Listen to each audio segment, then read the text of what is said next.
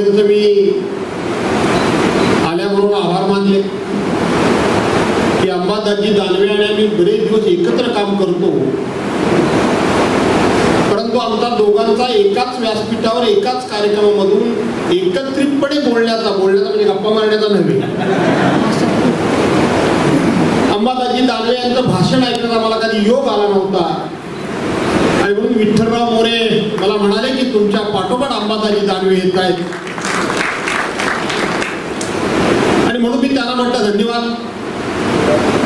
याचं कारण असं आहे की आपल्या सर्वांना आठवत असेल ज्या वेळेला उद्धव साहेबांना सोडून आपल्या पक्षातील ज्या वेळेला चाळीस आमदार पलीकडे गेले बरीच बरीचशी पदाधिकारी पलीकडे गेली. सुरुवातीच्या काळामध्ये बारा खासदार गेले. सर्वसामान्य शिवसैनिक हा आपापल्या जागेवर होता. परंतु तो चिंताक्रांत होता. तो खूप खूप मोठ्या विवंचन विवंचनेमध्ये होता. की आता शेवटी हा लढा लढायचा असेल तर शेवटी याला कोणीतरी हुंकार फोडला पाहिजे. मैदानात उतरलं पाहिजे. कुणीतरी या बंडाच्या विरोधात आवाज दिला पाहिजे. कारण त्यावेळेला आपल्या उद्धव साहेबांची तब्येत ठीक नव्हती. आठवत असेल तुम्हाला? ते खूप आजारी होते. त्यांचं खूप मोठं गंभीर स्वरूपाचं ऑपरेशन झालं होतं. आणि तीच संधी साधून भारतीय जनता पार्टीने डाव केला. आणि आपल्या चाळीस आमदारांनी विश्वासघात केला आणि आपली सत्ता गेली. संपूर्ण महाराष्ट्राचा सर्द झाला त्यावेळेला आपल्याला आठवत असेल की हे आताचे मुख्यमंत्री यांचा विश्वासदर्शक ठराव हा सभागृहामध्ये चर्चेला आला होता. त्यांच्या बाजूनं भरभरून भाषणे होत होती. आमच्या बाजूनं जे काही रीतिरिवाजाला परंपरेला धरून काँग्रेस पद्धतीप्रमाणे थोडासा कोणाचा वाईटपणा न घेता अशा पद्धतीची भांडणं सुरू होती. आणि आपल्याला आठवत असेल की उद्धव बाळासाहेब ठाकरे गटाच्या वतीनं ज्या वेळेला मी बोलायला उभा राहिलो आणि त्यावेळेचं विधानमंडळामध्ये विधानसभेमध्ये माझं झालेलं भाषण आणि त्यानंतर संपूर्ण महाराष्ट्रामध्ये एक हुंकार फुटला की टायगर अभी जिंदा है टायगर अभी जिंदा है विरोधकांना असं वाटलं होतं भारतीय जनता पार्टीच्या लोकांना असं वाटलं होतं की उद्धव साहेब ठाकरे आजारी आहे आता शिवसेना ही पूर्णपणे गलित गात्र होईल. परंतु उद्धव साहेब ठाकरेंचं मत उद्धवराव ठाकरेंच्या वेदना आणि उद्धव साहेब ठाकरेंच्या विचारांचा हुंकार त्यांचा कार्यकर्ता म्हणून भास्कर जाधवनी ज्यावेळेला विधानसभेमध्ये आवाज दिला. करायला हव्या महाराष्ट्रामध्ये अशा प्रकारची चर्चा झाली. आपल्याला आठवत असेल की टायगर बी जिंदा याचा अर्थ उद्धव साहेब अजून खंबीर उभे आहे. उद्धव साहेब अजून खंबीरपणे उभे. हा आवाज भास्कर जाधवचा असला तरी हा आवाज खऱ्या अर्थानं उद्धव साहेबांचा होता हे महाराष्ट्राला कळू आणि मग त्यानंतर माझे अनेक सहकारी मैदानामध्ये उतरले. आणि त्यातलाच माझा सहकारी अंबाबाद दानवे यांच्याबद्दल मी ऐकून होतो इकडे तिकडे ऐकत होतो. परंतु प्रत्यक्षपणे एका सभेमध्ये अंबादाजी यायची कधी वेळ आली नव्हती. ती वेळ विठ्ठलराव मोरे आज तुम्ही जुळवून आणली. म्हणून मी तुम्हाला धन्यवाद म्हणून मी तुम्हाला धन्यवाद देतो. खर तर या ठाणे जिल्ह्यामध्ये बऱ्याचशा सभा राजेंजी आपल्या झाल्या. आणि तुमचा तो काय माझ्यावर प्रेम म्हणायचं दम म्हणायचं अधिकार म्हणायचं का काय म्हणायचं तेच कळत नाही. का मला भीती घालतात ते पण समजत नाही. कारण शेवटी मी निवडणुकीला उभा राहतो ना तो तालुका ह्यांचा आहे. त्यामुळे दम देतात की काय कळत नाही उभं राहायचं आहे का नाही असं वाटतं म्हण असं म्हणत नाहीत ते.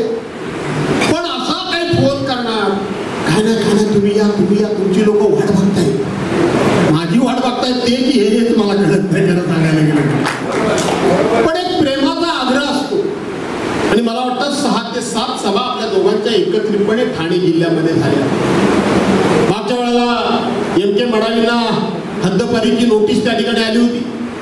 आणि त्यावेळेला त्यांच्या पाठीमाग आम्ही सगळे उभे राहिले.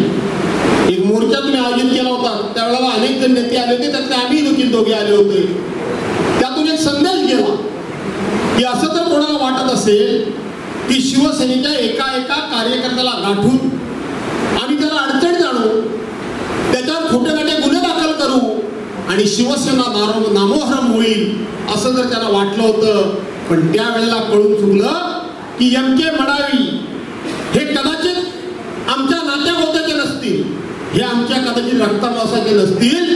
पण शिवसेना प्रमुखांनी विचार दिला की कोण कोणाच्या नात्याचा कोण कोणाच्या जाती धर्माचा यापेक्षा ज्याच्या खांद्यावर शिवसेनेचा भगवा आहे तो आमचा आहे. या भावनेतून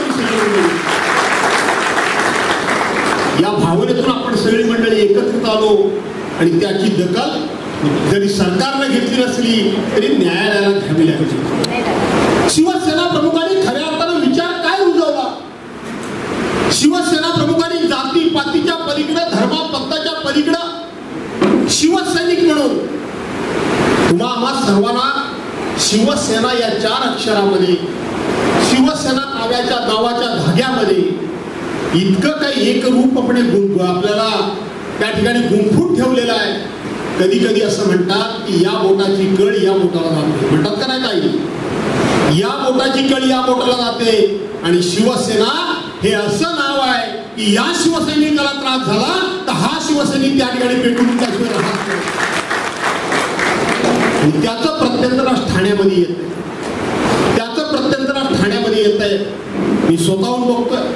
मी पण की असं जर कोणाला वाटत असेल की आम्ही गेलो म्हणजे ठाण्यामधली शिवसेना संपली तर त्यांचा हा गैरसमज आहे. किंबहुना आजचं ठाण्यातलं सगळं चित्र बघितलं तर कदाचित लोक तुम्ही जाण्याचीच वाट बघत होते की काय? असं म्हणण्यापर्यंत शंका निर्माण झाली की तुम्ही गेल्यामुळं शिवसेना प्रमुखांची शिवसेना निकोप होईल. शिवसेना प्रमुखांची खऱ्या अर्थानं शिवसेना एकरूप होईल. आणि गटापाटाचं राजकारण संपून शिवसेनेच्या विचारानं भगव्या झेंड्याखाली सगळे एक दिलाने एकरूप होतील असंच चित्र आजचं आपल्या सर्वांना पाहायला मिळतं आणि अनुभवायला मिळतं आणि म्हणून अंबादासजी दानवेनी सांगितलं हे अत्यंत मार्मिक सांगितलं. की आता बस सुप्रीम कोर्ट काय म्हणते निवडणूक आयोग काय म्हणतोय? केंद्र सरकार काय म्हणतंय राज्य सरकार काय म्हणतंय? ते काय म्हणते ते आता तुमच्या लक्षात आलं. हो ताई ताई ताई ताई ताई. निवडणूक आयोगानं परवानगा दिलेला निकाल. हा निवडणूक आयोगाने दिलेला परवानगा निकाल जर कोणालाही पाळण्यात एखाद्या लहान मुलाला विचारलं की शिवसेना कोणाची धनुष्यबाण कोणाचा मातोश्री कोणाची तर पाळण्यातलं लहान मुल सुद्धा सांगेल ते शिवसेना प्रमुख माननीय बाळासाहेब ठाकरेंची शिवसेना. माननीय बाळासाहेब ठाकरेंचं धनुष्यबाण ही निशाणी कोणी सांगेल पण निवडणूक आयोगानं अशा पद्धतीनं बंडखोरी केलेल्या लोकांनाच पक्ष देऊन टाकला अशा लोकांना गद्दारी केलेल्या लोकांना धनुष्यबाण ही निशाणी देऊन टाकली मागच्या वेळेला अंधेरी पूर्व पूर्व. पूर्व पोटनिवडणूक झाली? आमचे एक सहकारी रमेश लटके हे स्वर्गवासी झाले. आणि त्यांच्या पत्नीला उद्धव साहेबांनी उमेदवारी दिली. आणि त्याच वेळेला हा शिंदे गट निवडणूक लढवायला लढला नाही. पण निवडणूक आयोगासमोर कशाला गेला? निवडणूक आयोगासमोर गेला की शिवसेना हे नाव गोठवा. धनुष्य बाणी निशाणी गोठवा. स्वतः निवडणूक लढले नाही. शिवसेनेतून बाहेर पडल्यानंतर काय सांगितलं? की आम्ही शिवसेनेचा विचार पुढे घेऊन जातो आहोत. शिवसेना प्रमुखांचा विचार आम्ही पुढे घेऊन जातो आहोत. जो उद्धव साहेबांना जमलं नाही ते आम्ही करतो म्हणून सांगितलं. उद्धव साहेबांना जमलं नाही ते आम्ही करून सांगतो. ज्या दिवशी रात्री शिवसेना हे नाव आपलं गोठवलं धनुष्य बाणे गोठवलं आत्ता नाही त्यावेळेला म्हणजे महिन्यात दीड दोन महिन्यापूर्वी गोठवलं त्यावेळेला मी अंबालाजी मुलुंडच्या सभेमध्ये होतो. आणि सभा मी आठवून आलो एका पत्रकाराने मला फोन केला रस्त्यामध्ये खात झाला काय झालं? म्हणाला भविष्यवाणी निशाणी केली अक्षरशः काळजामध्ये धस्स झालं. आणि त्या क्षणाला पुढं त्यांनी हे सांगितलं मला की केवळ निशाणी गेली नाही तर शिवसेना हे नाव सुद्धा बरोबर दिवशी जवळजवळ मला असं वाटतं की अख्खा महाराष्ट्र लढत होता. भारतीय जनता पार्टी सोडून बाकी सगळे अख्खा महाराष्ट्र लढत होता.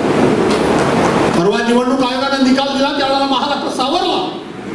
पण पहिला निकाल दिला त्यावेळेला अक्षरशः बाया बापड्यांच्या डोळ्यामध्ये पाणी होतं. मी आणि उद्धव साहेब ठाकरे यांना फोन केला आणि विचारलं साहेब मी आता इकडूनच जातोय कारण मुरुडवरूनची सभा आठवून मी तिकडूनच बांद्र्यावरूनच चाललोय. मी येऊ का? ते म्हणजे भास्करराव आता येऊ नका आता येऊन काय करणार उद्या या. मी सकाळी गेलो मला वाटतं अंबादाजी तुम्ही पण असाल आम्ही सगळे उद्धव साहेबांच्या समोर बसलो शेवटी एक म्हण आहे ना पाण्यातला मासा झोपतो कैसा किंवा पाण्यातला मासा कधी रडतच नाही असं लोकांना वाटतं कारण त्याच्या पाण्यामध्ये अश्रू कधी वाहून जातात ते कोणाला कळतच नाही ना त्याच्या डोळ्यात सुद्धा पाणी असतं त्याला सुद्धा सुख दुःख आहे त्याला सुद्धा भावना आहे त्याला सुद्धा काही ना मन आहे त्याला सुद्धा आराम आहे पण तो पाण्यामध्येच राहतो त्यामुळे पाण्यातल्या पाण्यात त्याच्या डोळ्यातलं पाणी डोळ्यातले अश्रू कधी वाहून जातात पाण्याबरोबर ते बऱ्याच जणांना कळत नाही आणि म्हणून बऱ्याच जणांना वाटतं की मासा कधी रडतच नाही. आणि म्हणून उद्धव साहेब ठाकरेंच्या समोर आम्ही बसलो होतो. त्यावेळेला उद्धव साहेब सातत्यानं असा कळत कळतपणे आमच्या कोणाच्या लक्षात येऊ नये म्हणून डोळे पुसत होते. उद्धव साहेबांचा इतके आघात झाले. तब्येत बरी नव्हती पण कधी मी चेहरा पडलेला बघितला पण त्या दिवशी त्यांचा चेहरा पार पडला होता पार उतरला होता. मला न राहून माझ्या स्वभावाप्रमाणे मी म्हटलं साहेब मी इतके दिवस तुम्हाला बघतोय पण तुमचा चेहरा असा उतरलेला मी कधी बघितला नाही. मी डोळे पुसताय. उद्धव साहेब म्हणत नाही. डोळ्याला कसा त्रास होतो बाजूला रवी म्हात्रे उभे होते. जे बाळासाहेबांचे आज उद्धव साहेबांबरोबर काम करतायत ते रवी म्हात्रे बाजूला उभे होते. ते एका क्षणात आम्हाला म्हणाले भास्करराव अहो काय विचारताय? उद्धव साहेब डोळे का पुसतायत म्हणून? उद्धव साहेब रडताय काय विचारताय की उद्धव काय पुसतायत म्हणून. तुम्हाला माहीत आहे? की शिवसेना प्रमुख मान्य बाळासाहेब ठाकरेंच्या हयातीमध्ये आपल्या पक्षाला अठ्ठ्याऐंशी ते एकोणनव्वद साली धनुष्यबाणी निशाणी मिळाली. बाळासाहेबांच्या खोलीमध्ये त्यांचा देवारा आहे. आणि त्या देवाऱ्यामध्ये देवाबरोबर बाळासाहेबांनी धनुष्य बाण ठेवलेला आहे. बाळासाहेब साक्षात देवाला देव मानत होते. त्याच पद्धतीने धनुष्य बाणाला सुद्धा आपल्या शिवसैनिकांचा देव मानून त्याची पूजा करत. रवी मात्र गैरवरले माझं मन गलबलू लागलं. उद्धव साहेबांचा माग फुटला म्हणाले हे देवाबरोबर आम्ही पूजलेलं आहे धनुष्यबाण आज समोरचा मिंदे गट निवडणूक लढवत नाही. आणि निवडणूक निवडणूक आयोगानं ते धनुष्य बाणच गोठवलं. अशा वेळेला उद्धव साहेब रडतील नाही तर काय हसतील? काय दुःख असेल त्या माणसाच्या मनावर? काय तुमच्या मनाला दुःख वाटलं असेल? पण बांधवांना भगिनीनो शिवसेना प्रमुखांचा शेवटचा काळ आठवा ज्या वेळेला शिवसेना प्रमुख स्वर्गवासी झाले त्यावेळेला उभा महाराष्ट्र धाय मोकळून लढत होता पण शिवसेना प्रमुखांच्या सूत्रानं उद्धव साहेब ठाकरेंनी सांगितलं की आता रडायचं नाही तर आता लढायचं हे उद्धव साहेबांनी सांगितलं. आणि म्हणून तोच संदेश घेऊन तोच विचार घेऊन आम्ही तुमच्यासमोर वारंवार येतोय. यात आहे तर बसायचं नाही. आता याला धडा शिकवायला परवाच्या दिवशी तुमची ठाण्याची सभा झाल्यानंतर वरळीला माझी सभा झाली नांबोरी मैदानाची आदित्यची होती फार प्रचंड मोठी सभा झाली तुम्ही सर्वांनी बघितलं.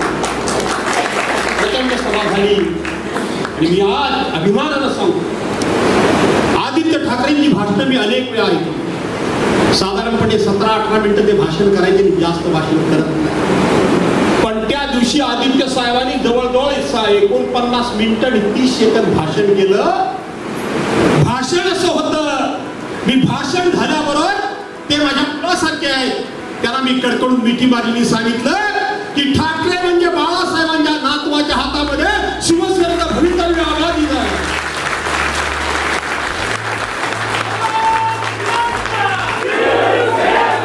शिवसेना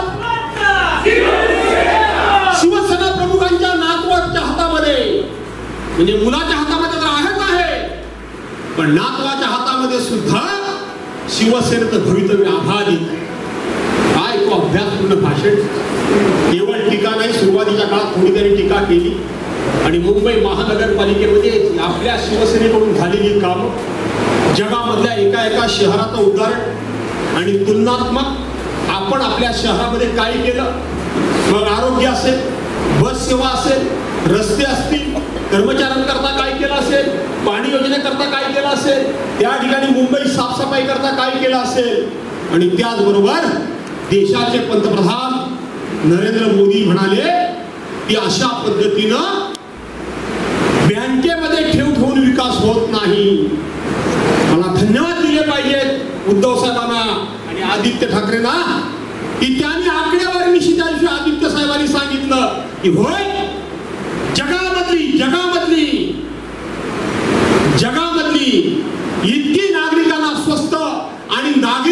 देणारी एकमेव महानगरपालिका आहे. आणि ती म्हणजे शिवसेनेची आहे मुंबई महानगरपालिका आहे. त्यांनी सांगितलं एकोणीसशे सत्त्याण्णव साली मुंबई महानगरपालिका आमच्या ताब्यामध्ये आली. त्यावेळेला सहाशे कोटी रुपये तिच्यावर कर्ज होत. आणि आज त्या महानगरपालिकेचे नव्याण्णव हजार कोटी रुपये डिपॉझिट आहेत. त्याच्यावर लक्ष या भाजपच्या बोक्यांचं आहे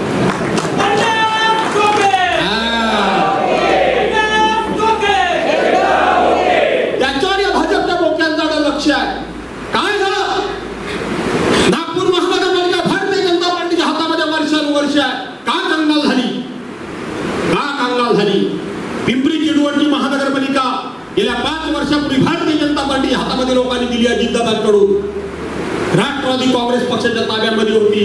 अतिशय उत्तम दर्जाचं शहर अजितदादांनी बनवलं होतं. भारतीय जनता पार्टीच्या ताब्यामध्ये दिली. काय झालं तुम्हाला माहिती आहे?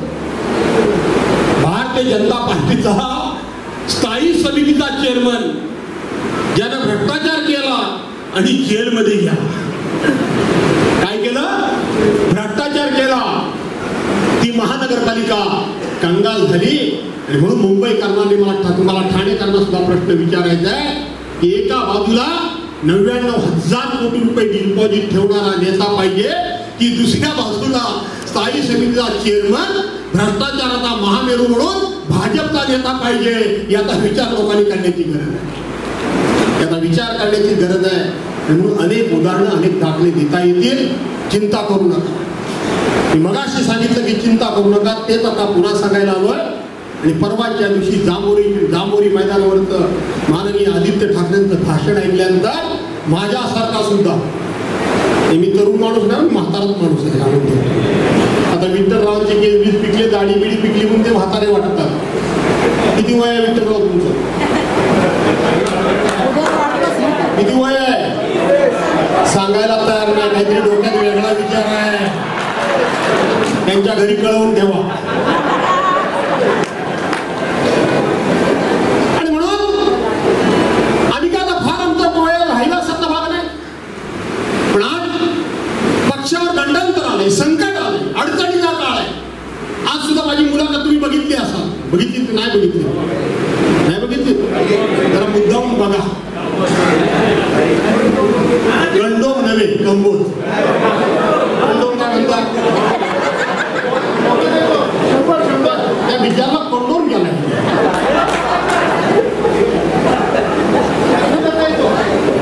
मी तो उल्लेख या ठिकाणी करत नाही करणार नाही तो उल्लेख मी या ठिकाणी करू इच्छित नाही.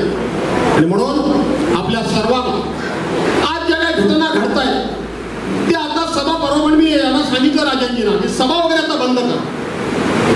आमची भाषणं बंद करा. सभा जर ठेवायची असतील तर आमची भाषणं बंद करा. सामान्यातल्या सामान्य माणसाला बंद सामान्यातल्या सामान्य. सामान्यातल्या सामान्य माणसाला बोलतं करा. त्यांना बोलू द्या. त्यांना त्यांच्या भावना व्यक्त करू द्या. त्यांना लोकांशी संवाद साधू द्या. लोकांना काय वाटतंय ते तुमच्यापर्यंत घ्या. मी तुम्हाला आज सांगतो की आम्ही भाषण करतो त्याच्यापेक्षा शिवाय त्याच्यापेक्षा सुद्धा उत्तम अशा प्रकारचा विषय पटवून सामान्यातला सामान्य माणूस आज जनतेला देईल त्यांच्यामुळे परिवर्तन घडले. केदार दिघे आनंद दिघेंचे ते पुतळे ना. ते आता ते भाषण माझ्यासमोर त्यांनी पहिलंच केलं. त्यांनी कधी पहिलं भाषण केलेलं मी पण ऐकलं होतं कारण दिघे साहेब करत नाही मला माहिती आहे. दिघे साहेबांबरोबर मी काम केलेलं आहे. ते परवा मी काम करत होतो. ते मला मी ज्या ज्या ठिकाणी जायचो त्यांना दिसलो दिसलो की असं भनगट धरायचे. त्यांची ती स्टाईल होती माहिती की नाही? आणि ओळख त्याने मला भाषण करायला नाही आणि म्हणायचे काय माहिती तुमच्यापैकी दत्ताई साळवीने की दत्ताई साळवीला किती जणांनी बघितले? दत्ताजी साळवी बघितलं की नाही? शिवसेनेची जमदाग्नी कमांडर दत्ताजी साळवी म्हणून म्हणायची. ज्यांच्याकडे तुकारामाच्या गाथा संत ज्ञानेश्वर असतील छत्रपती शिवाजी महाराज असतील यशवंतराव चव्हाण असतील नाही तर सावरकर असतील जर कोणाच्या तोंडानं ऐकायचे असतील तर ते दत्ताजी साळवींच्या तोंडानं ऐकावे असे मुखोद्गत त्यांचे विचार असतील. दिजेसाहेब मला हाताला धरून न्यायचे म्हणायचे. हा उद्या आमच्या दत्ताजी साळवींचा वारसदार होईल असं मला म्हणायचं. आपण कधी भाषण नाही करायचे. आपण मग काय एका कोपऱ्यात. चालू असायचं काय ते बरोबर का विठ्ठलराव हे चालू असायचं तिकडे काय ते त्या त्यांचे पुतळे केदारगिरी परवा फार मोठा विचार केला. भाषण कसं केलं? याला महत्त्व नाही. तो विचार मुंबईमधल्या एवढ्या दांबोरी मैदानाच्या मोठ्या सभेसमोर आदित्य ठाकरेंसमोर मी त्यांचं नाव घेऊन सांगितलं. माझा मोठे नाव नाही मी केलं त्यांनी खूप मोठा विचार दिला त्यांनी विचार हा दिला. त्याच शिवसेनेचं नाव आपलं केलंय धनुष्यबाण हे नाव आपलं केलंय आज सर्वांना आपल्याला असं वाटतं की उद्या मशाल आपल्याकडे राहील. ती राहील की नाही सांगता येत नाही. राहावी आपली इच्छा नाही. आहे. राहावी अशी आपली इच्छा आहे पण राहील की नाही सांगता येत नाही. कारण निवडणूक आयोग आणि कोर्ट काय निर्णय देईल हे आता विचार करू नका. मी तुम्हाला आत्ताच सांगतो. जो काही निर्णय द्यायचा तो देईल पण आज घराघरापर्यंत नाही लोक लोकांपर्यंत एकच विचार पोचवा. की आमच्या पक्षाचं नाव जाऊ द्या. आमची निशाणी जाऊ द्या. मग ते धनुष्यबाण गेलं पण आम्ही रडत बसणार नाही उद्या मशाल गेली दुःख वाटेल पण आम्ही रडत बसणार नाही कारण आमच्या पक्षाचं नाव आणि आमची निशाणी उद्धव बाळासाहेब ठाकरे आहे. हे उद्धव बाळासाहेब ठाकरे आहे ही आमची निशाणी हे आमच्या पक्षाचं नाव बघूया काय होतं ते होतं घेऊन लढायचं का नाही लढायचं लढायचं ना आज तर तयार नक्की मग आता कशाला भाषण करायचं सांगू ना. आणि म्हणून हा विचार घेऊन आपण आता पुढे जायचं आहे काळजी करू नका अधिवेशन आहे नाना तऱ्हेचा छळवाद चाललाय नाना तऱ्हेचा शिवसेनेचं विधिमंडळातलं कार्यालय मला सुनील प्रभू काल सांगत होते की शिवसेना पक्षाचं विधिमंडळ कार्यालयातलं जे कार्यालय होतं त्याच्यामध्ये सुद्धा काही लोक घुसले. कशाला? कशाला? म्हणजे आमचे आमदार पण चोरायचे. आमचे खासदार पण आमचा पक्ष पण आमचं निशाणी पण आणि आमचं कार्यालय पण. परत चोरायचं ते कसं चोरलं तुम्हाला माहिती आहे का? कार्यालयामध्ये ते सात आठ दहा माणसं आज गेले पंचवीस तीस वर्ष काम करणारी माणसं आहेत. आपण पूर्वीच्या काळातल्या निष्ठा देतो सांग निष्ठाचे उदाहरण देतो पण तुम्हाला मी ताजं उदाहरण देतो. इथे त्या दोन मुली आहेत. बरेच वर्ष काम करतात पंधरा वीस पंचवीस वर्ष काम कार्यालयामध्ये करतात. आणि बाकीची दोन चार पाच मंडळी आहेत. हे अचानकपणे लुटारवादमध्ये आले जाऊन बसले. आणि ते आले त्यांना म्हणाले तुम्ही बाहेर पडा. बाहेरच थांबा. आतमध्ये शिरायचं नाही. सांगत होत्या की आमच्या पर्स काही कपाटामध्ये आहे. आमच्या पक्षाचे काही पैसे कपाटामध्ये आहे. आमची कागदपत्र सुद्धा कपाटामध्ये आहे. किमान आम्हाला ती तरी काढू द्या. म्हणाले नाही नाही नाही ते सगळंच आता आमचं. काढू दिलं नाही. त्याने सुनील प्रभूंना फोन केला. सुनील प्रभू म्हणाले मी सांगतो तुम्हाला काय करायचं ते. बराच वेळ झाला पुन्हा सुनील प्रभूंना फोन केला. सुनील प्रभू म्हणाले मी विचारून सांगतो काय करायचं ते. आणि तेवढ्यात त्या शिंदे गटाच्या माणसाने या सामान्य सामान्यातल्या सामान्य कर्मचाऱ्यांशी संपर्क साधला. सामान्यातल्या सामान्य कर्मचाऱ्यांशी संपर्क साधला. आणि त्यांना सांगितलं चला आमच्या कार्यालयात कामाला लागा आम्ही तुम्हाला दाम दुप्पट पगार देऊ. तुम्हाला माहिती? आहे तुम्हाला माहीत आहे? या सामान्य कार्यकर्त्यांनी सामान्य कर्मचाऱ्यांनी काय त्याला उत्तर दिलं की आम्ही आज जी काय मीठ भाकरी खातोय ती मीठ भाकरी आमची इमानदारीची आहे. आणि हिंदू हृदय सम्राट शिवसेना प्रमुख मान्य बाळासाहेब हिंदू हृदय सम्राट शिवसेना प्रमुख माननीय बाळासाहेब ठाकरेंच्या नावाची आहे. आजपर्यंत आम्ही मीठ भाकरी खाल्ली आमच्या पोराबाळांना लहानात मोठं केलं. उद्या उपाशी मारायची वेळ आली तर आम्ही मरू पण आम्ही तुमच्या बरोबर काम करणार. एवढा मोठा विचार आहे. एवढा मोठा विचार आहे. एवढ्या मोठ्या निष्ठा आहे. केवढा मोठा त्याग आहे. जरा विचार करा या सगळ्या गोष्टी. आणि हा विचार आम्ही नाही बघू शकत. आम्ही पोचवू शकतो मोठोनी भाषण करू. हा विचार सामान्यतः सामान्य माणसापर्यंत तुम्ही पोहोचवा. आणि निवडणुका कधी होऊ द्या होऊ द्या नका. लोकसभेची निवडणूक तर नक्कीच होईल बरोबर आहे का नाही कारण नरेंद्र मोदींना आणि अमित शहाना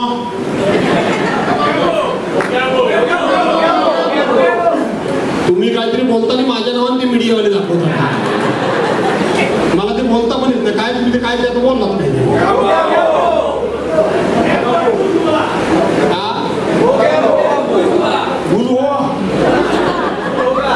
पण ठीक आहे. आता आता माझं भाषण बघितलेली दिसते म्हणजे शंभर टक्के बघितलेली आहे आणि म्हणून सामान्यातल्या सामान्य माणसाच्या ह्या निष्ठा सामान्यातल्या सामान्य माणसाचा विचार आज सांगतो की भारतीय जनता पार्टीनं ज्यांच्या ज्यांच्याबरोबर मैत्री केली त्यानं त्यांना संपवलं शिवसेनेला नाना तऱ्हेनं संपवायचा प्रयत्न केला पण शिवसेना संपायला तयार नाही. मला तुमच्या माध्यमातून एकच गोष्ट की तुम्ही शिवसेनेला संपवायचा प्रयत्न करताय. पर्यायानं आगी जवळ खेळताय. अरे शिवसेना प्रमुखांनी या मराठी माणसाच्या आणि महाराष्ट्राच्या माणस म- मनामनामध्ये अशा पद्धतीने स्वाभिमानाची ज्योत लढवली आहे. या शिवसेनेच्या नादाला तुम्ही लागला ना तुम्ही जडून खाक झाल्याशिवाय राहणार नाही. हे लक्षात ठेवा. तुम्ही शिवसेनेशी खेळता तुम्ही आगीशी खेळता आहात.